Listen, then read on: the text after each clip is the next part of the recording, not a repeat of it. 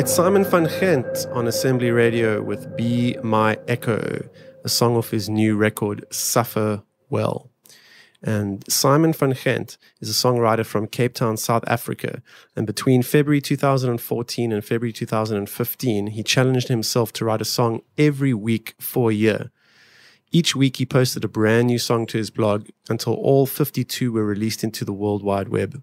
On completion of this mammoth task, he connected with Johannesburg based artist Sanette Stegman, who took on her own challenge to make an ink drawing for each of these songs. Each illustration is inspired by the stories and the mood they invoke and include a line of the lyrics. At the same time, Simon and his introspective indie folk rock band, called Simon and the Band Apart, has teamed up with producer Chris Tuck to record the best of the blog songs for a new album. And this will all come together at a joint exhibition opening and album launch on the 3rd of September at the Young Blood Gallery in Bree Street, Cape Town, as part of the First Thursday initiative. Each illustration will be box framed with the CD of that song, and the event will feature a live performance by the band of the songs on the new album. And we are very privileged today to have Simon live in the studio. How are you doing today, Simon? Yeah, I'm good. Thanks. Thanks for joining us. It's my pleasure. All right. Well, let's talk about this new album. Obviously, it's been a long time coming. You've been working really hard at it. Let's go back to the beginning, the genesis of the project, and talk about how you came up with the idea. Okay. Well, um, I actually gave a talk on this the other day. Um, I don't know if you know these Pecha Kucha talks. In fact, they have them here at the assembly um, usually, but this one was in the city hall. And so if I end up sounding like I'm giving a Pecha Kucha talk, it's because I memorized this stuff That's awesome. last week. So it started with um, something that uh, I don't know if you know the podcast This American Life. Well, it's a radio show in the States. And Ira Glass is the guy who presents it. And I heard an interview with him, and he was talking about becoming a writer and what makes people become writers and, and what they go through.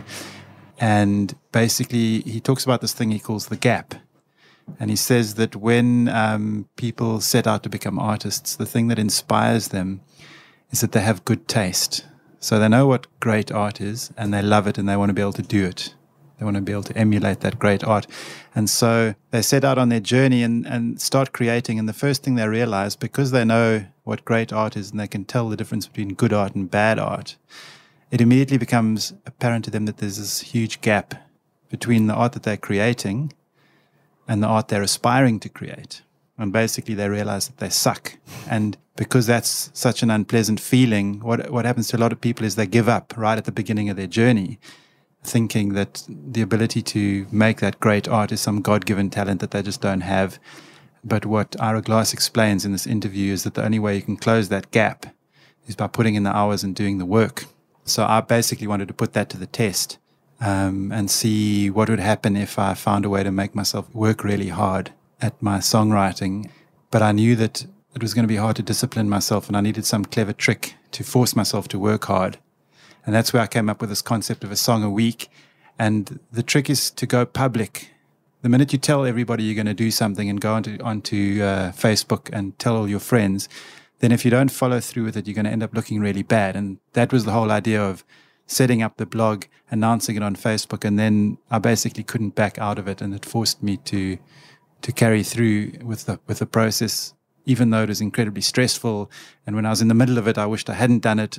There was no way I could not do it because I would have looked stupid. So that was how what got me into it and how I managed to do it. So you had to get a pro SoundCloud account to enable you to upload exactly, all those hours yes. of audio. That's what I that's what I realized about halfway through when I started running out of space. All right, so you essentially wrote a song a week and uploaded it onto SoundCloud for an entire year. Yeah. So what was it like in the first month or so? Did it flow quite easily? When did it start to get difficult for you? No, it was difficult from the beginning. It never it never got harder or, or more difficult in a general way. There were weeks where it was harder, and there were some weeks where I would just write the song without even really trying. It's like that, you know. Sometimes you'll you'll really have to work hard for that song, and it won't end up being such a great song even. And sometimes you'll it'll just happen. It'll kind of fall out of you, and you'll think, "Oh, that must be a rubbish song because it was much too easy to write."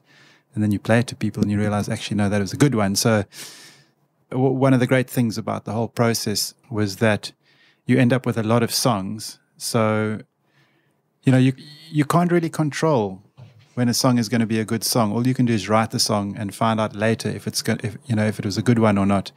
And writing a lot of songs means there's more likely to be good ones. So, for example, I, I heard this interview once with with Beck on another podcast I love to listen to called All Songs Considered. I don't know if you guys know that podcast. It's a, an NPR show. And Bob Boilen, who's the host, said to Beck, You know, I don't believe you've ever written a bad song. And Beck said, No, I've, I've written plenty of bad songs. It's just, just no one ever hears them. But that to write the good ones, you've got to write the bad ones.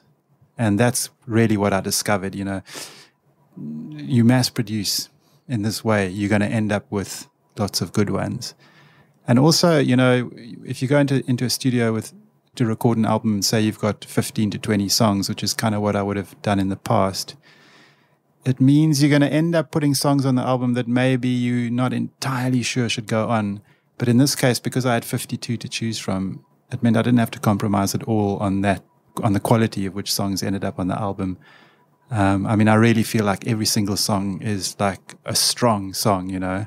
And yeah, I mean, basically, I've got to do this for every album that I ever make from now on because there's no going back. You know, I've seen how well this works.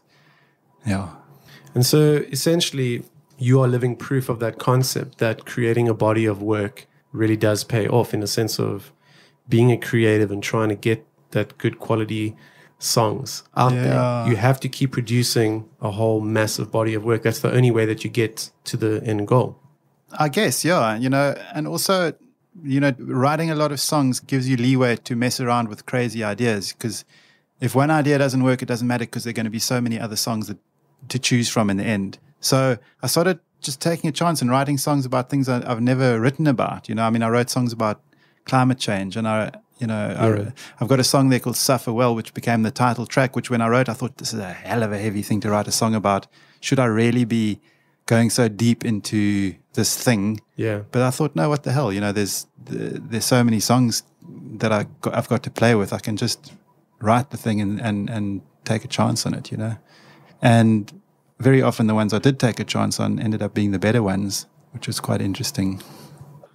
It must have been a very interesting experience, though, looking at 52 songs that you've written and then deciding which are the ones that you want to choose for the album because with so many songs and a, uh, an album normally being what 10 to 15 songs that's a massive reduction of of the songs so let's talk about that process of actually choosing the ones that appear well that's that's very easy to answer. All we did was we got um, all our friends and you put them all fan, in a hat yeah we, no no no no. we, we we we got all like you know there's a bunch of people we know that love the music um, that we could trust with their opinions, some fans, some friends. Um, and there was probably, I don't know, about 10 or so people that we got to make lists of which songs they'd like to hear on an album. And all I did was I, I got them to make A lists and B lists. And then anything that was on an A list got two points, anything that was on a B list got one point. And then I just added up the points and made a new list based on those lists. Um, wow. And that's how we worked out which were going to be on the album. But there was still a little bit of leeway. I mean, there was one song which didn't make that list, which my drummer Ross insisted be on because it's his favorite, you know, sure. things like that. So. So you actually relied essentially on your friends or your fans, if you will. Well, I generally do. You know, it's uh, I've got such a um, hectic internal critic that it's very hard for me to actually appreciate my own music until someone else tells me, "Okay, that's a good song," because that critic in me has destroyed that song for me in that way. Like, oh, it's hard to explain. I kind of yeah. I kind of tend to run run my own work down sure. so hard, um, and it's really something I need to do something about because it's it's a big obstacle to yeah. the creative process. But um, in fact, that's that's really why it was necessary for me to do something like a song a week because it forced me to finish the songs despite what that into you know the mm-hmm. the thing Ira Glass said that feeling of I suck.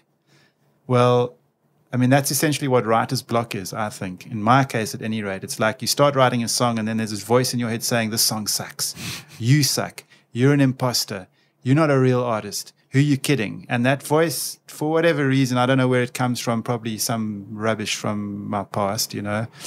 But having a weekly deadline meant I couldn't let that voice stop me because. Didn't have a choice. I didn't have a choice, yeah. So I had to, and so it, it became very clear to me that writer's block is really just the fear of making bad art, you know. So you just carry on writing no matter what. And, and that's the trick for me is to just keep doing the job. You know, it's like I know how to do it. I can do it, and it's it doesn't require that I be feeling fantastic about the song, although that helps, and that's definitely a fuel that keeps you going. But you can also keep going just by keeping going, mm. and that really worked, you know. And did you find that as you did keep going, that that voice got softer over time, that critical voice, or did you find it was always kind of there? No, it was always there. I mean, that voice is to do with unconscious stuff that's not going to change just because you keep beating it. Um, if you're going to fix that, you need to go to therapy or something. You know, it's like um, that's mm. what I think.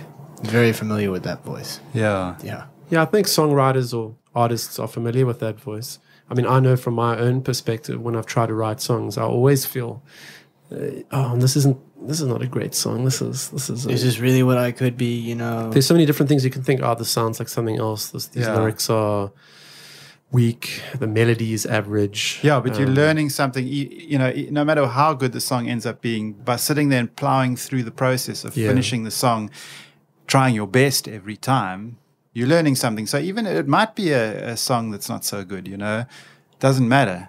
Yeah, you're on that journey up the mountain to where you know where the great songs are. Exactly. I mean that that was the whole idea behind the body of work is that yeah. you're only going to write your best songs if you produce a big body of work because how else are you going to know yeah. how you're going to be able to dif- differentiate and it? also you learning new things along the way every song i wrote i learned something i learned a new turn of phrase or i learned a new way to sing over that chord progression you know or a new way to find an idea you know i mean i, I discovered a, a great trick for finding song ideas when i really had no ideas in fact the songs suffer well I found, I know I'm a, I almost think I shouldn't say this because it's supposed to be some mystical thing where you find ideas for songs. But I was, I had this guitar part that I really liked, and I thought, okay, I've got to write a song this week, and I had no idea. So I, went onto, um, I just started, uh, you know, this thing called Stumble Upon where you just, it just throws random websites at you, and it landed me on this quotations website. And there was a quotation by Muhammad Ali, and he said that he hated every minute of his training. But it, you know, he just didn't enjoy being in the gym. He hated it. But he knew that if he wanted to be a champion, he had to suffer that. So this was a quotation about suffering. And I thought, hang on, that's great. What other quotations are there going to be on this website about suffering? So I just typed suffering in the search bar and it threw up all these amazing quotations by Dostoevsky and Keats and Nietzsche. And, you know, so I just basically collected the quotes I liked and started writing a song based on those quotes and some of my own ideas. But there's a great way to find song ideas. Go to a quotes website and start reading quotes until you find somebody who said something that resonates with you mm. and would make a good song. You know, yeah. that's there, there's one idea. That's yeah. one that's one trick I learned. You know, and I learned that by doing the song a week. I wouldn't have learned it any other way. But you know, there's lots of tricks. Yeah, I actually remember chatting to you at uh, where were we, House of Machines, a couple months back, and you were giving me some tips on songwriting. And I just remember saying, well, you saying that you have to come up with an idea and then you can brainstorm, you know, different yeah, yeah. Well, that, that there's, two, there's two there's two ways I've got of writing songs, and that that I also kind of discovered in the process was the first is where you start with an idea. So you look for an idea like that, like suffer well. You hunt for an idea, and, and, and you just stay on the lookout everywhere you go. Things people say you know, often you'll hear a song and, and you'll go, wow, that's something I think all the time, but I never thought of writing a song about it. You know, so these things are always passing through our minds, but we never catch them. So you, you're always on the lookout for ideas. And then when you find an idea, then there's that method that I explained, where it was actually something I learned on a songwriting course that I did online last year um, through Berklee in Boston, I think they are. Um, you know, there are these free online courses you can do. Um, the website was Coursera, C O U R S E R A, Coursera. And there you can find hundreds of these online courses about anything from universities all over the world. But anyway, so this was a songwriting course, and the method they describe is you start with an idea and you start brainstorming keywords around that idea. So if, if you know, if say your song was suffer, suffer well, you could say pain, you could say heartache. You, you know, you could just brainstorm ideas. And then you write down these keywords and you make sure that your 10 keywords don't rhyme with each other. That's very important because what you're going to do next is go to your rhyming dictionary and find as many words as you can that rhyme with each keyword. So you start with your first keyword and you just start finding rhymes. You look you look that keyword up in your dictionary. So if pain was a keyword, Yeah, then you would see rain and you'd think, hmm, could rain be in the song? Yeah, well, rain is a is a great metaphor for sadness. I'll stick that on my list. Um, gain, okay, obviously no pain, no gain. That's a word that might appear. And the great thing about that process is that um, each time you see a new word on that list in the rhyming dictionary and you're thinking, could that be in a song? That word will often get you thinking in a way that you wouldn't be thinking about an idea for that song because it might be a word which you'd never have dreamed of putting in the song, but suddenly there it is and it's suggesting a, a line about um, stain, you know, about the stain you left on my heart, for example, or, you know, yeah. so, so each word sparks an idea, and it's an idea generator. That method. So you end up with this this sheet of ten keywords, or you know, however however many, more or less ten keywords, and as many rhymes as you can for each keyword, and then you that that's what you use to build your verses. You've just got all these words you can start ah. chucking in verses. You can use them as end end of line rhymes or internal rhymes. You know, you, they're all there. So that's the one method. And I used that. I actually wrote a song and I saw it all the way through. So just so that you know, um, I've been Oh, ta- brilliant. taking your advice. Brilliant. so that's the one. The way, you know, that's the one way of writing a song. You start with an idea and you build a song up around the idea. And the other way is to to just have no idea and you you're playing your guitar. You've got a feeling, and then you just start writing whatever the hell comes out of your head, and trust that your subconscious can create something. You know, every night you go to sleep and you dream, and your mind effortlessly creates these incredible things. I literally am, am, you know, I'm about to lose my skull from nodding so much in agreement. Yeah. Because no, no, no. I mean, uh, look, I, I can vouch first of all about the, you know, the whole just from nothing, you know, getting a song. I mean, I'll sometimes sit with my guitar for a few hours without even noticing. You know what I mean? Because the time just flies by Yeah, every yeah, now and yeah. then. And then all of a sudden, you know, you start playing something, you get an idea in your head, and you start talking, and then it just it just works out. It and it and it just exactly. it- it- to me, know, those are the best songs because they're the most honest in a way. You know, it's like um, you can construct a song in a in- using your left brain, yeah. but to me, that's not the interesting part of the brain. The, It- interesting part of the brain is the right is is the, the part of your brain that creates dreams at night, and those are the songs that I love the most. You know. I'd rather hear a Bob Dylan song like Tambourine Man or whatever, where the lyrics are just Yeah. crazy and they don't have any logical sense, than than a well-structured country and western song that tells a specific story.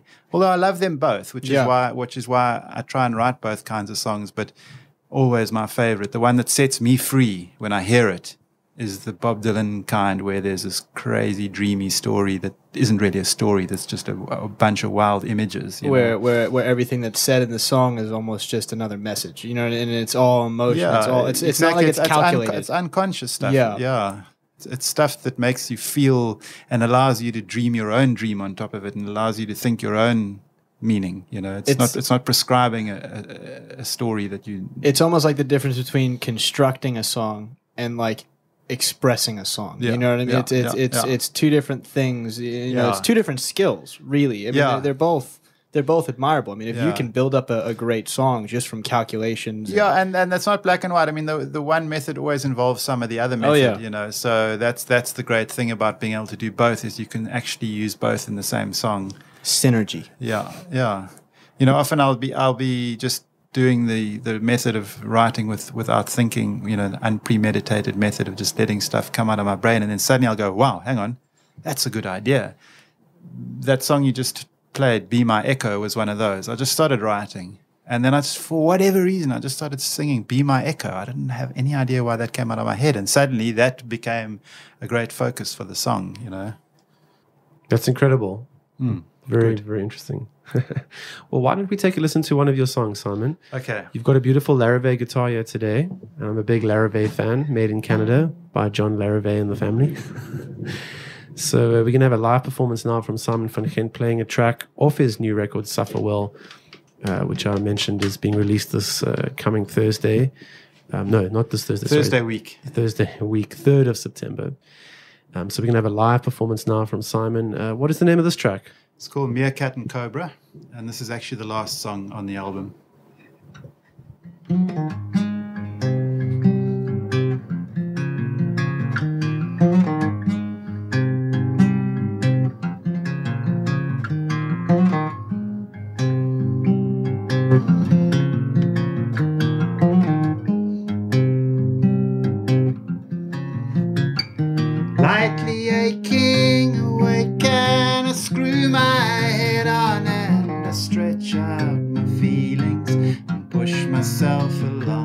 With my feet in the shallows of shadowy dreams. I go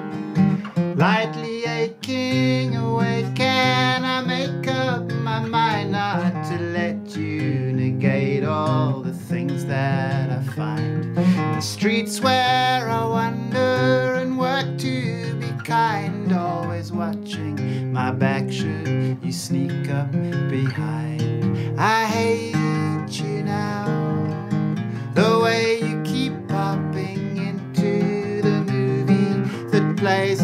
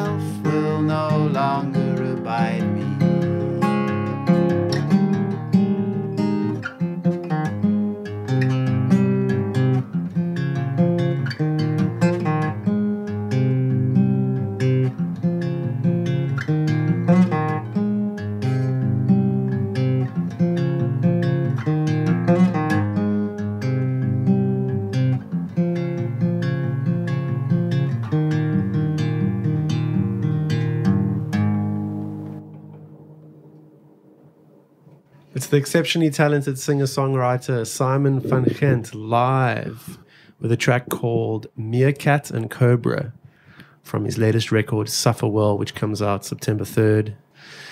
Cool. Well, a real privilege to have you in the studio today. Thanks very much for having me. Really awesome singer songwriter. And uh, if people want to get hold of your other albums as well, they're all. Uh, Yeah, they can all be found via the website. There's a link to iTunes, and there's also, you know, if you go to the website Bandcamp, bandcamp.com, all the albums are up there. Otherwise, just email me, and I can always make a plan to get a, an actual physical copy to whoever wants one. Awesome.